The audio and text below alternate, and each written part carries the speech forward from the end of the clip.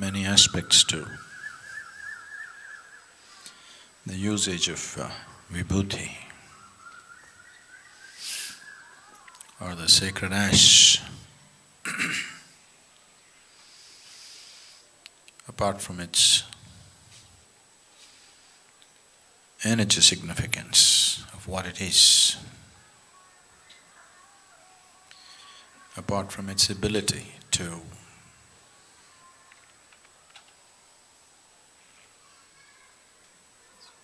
do things to direct and control the energy body, depending upon how it's prepared and how it's used. And apart from it being a, a great medium to transfer energy or transmit energy, the symbolic significance of vibhuti or the bhasma is to indicate the mortal nature of life.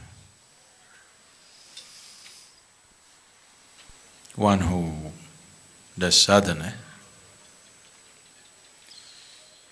uses the ash that comes from the cremation grounds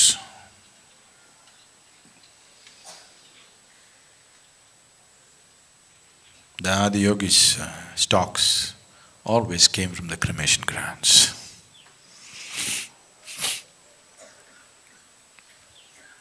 And even today, many yogis only procure their ash that they need for their sadhana from the cremation grounds.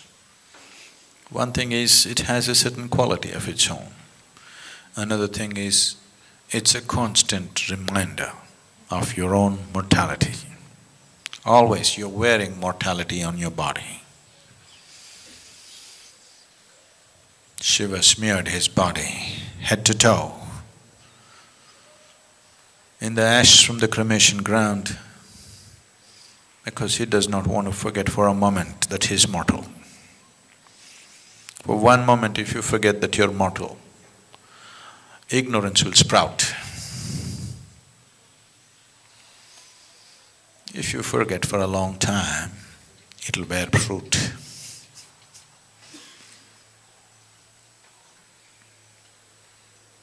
If you start thinking that you're immortal,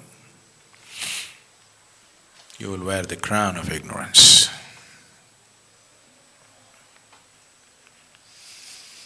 To ignore mortality is ignorance.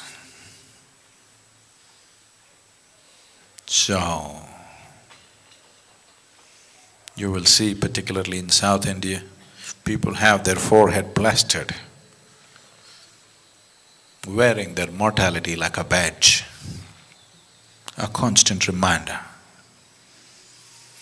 that I am not here for good a constant reminder that I am only a temporary resident of this place. Because uh,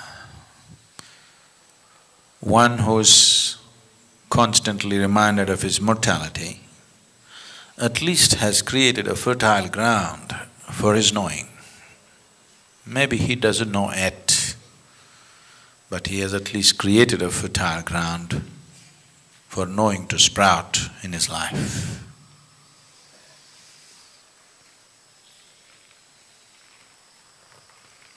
Just putting soil back to soil. Very few people can do it gracefully.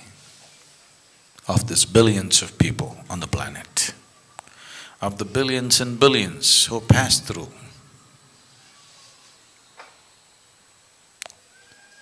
this planet, very, very few, extremely few,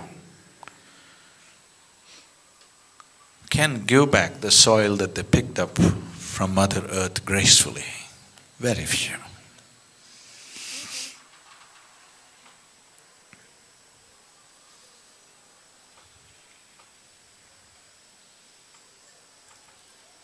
we help you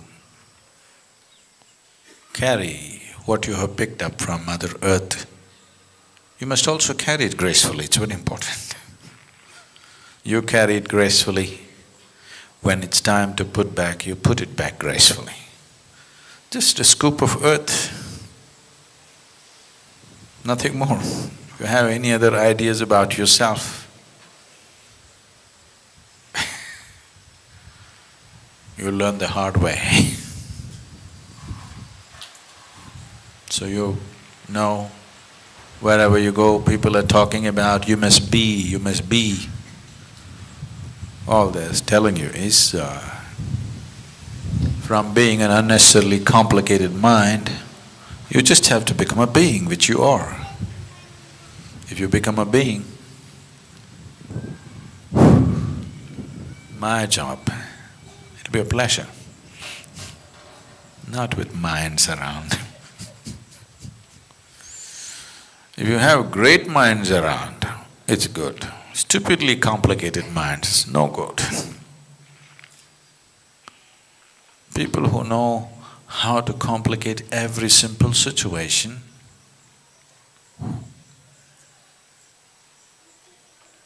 it's a lot of hard work for nothing.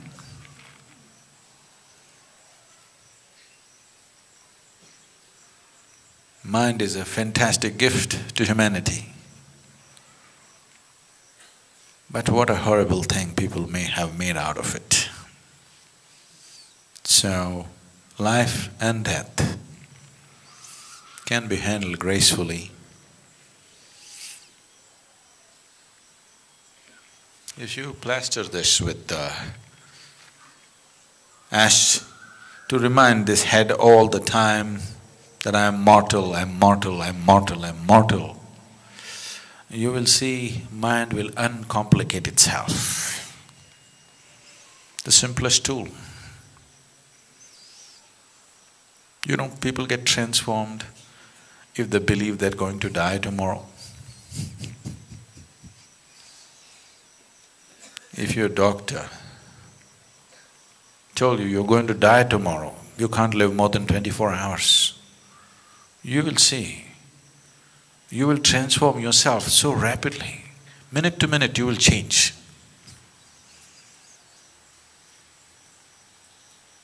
So, don't wait for your doctor to tell you something horrible.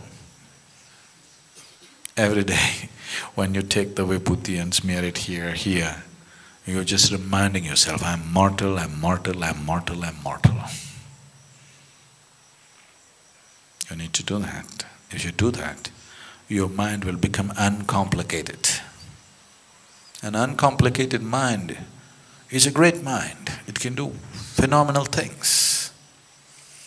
It will not be a hurdle. It will be a way by itself. And if you become a being, a guru's job will become a wonderful thing. Handling simple minds which are complicated. Simply, they believe they're complicated, they're not even complicated. It's just such a waste of time and life.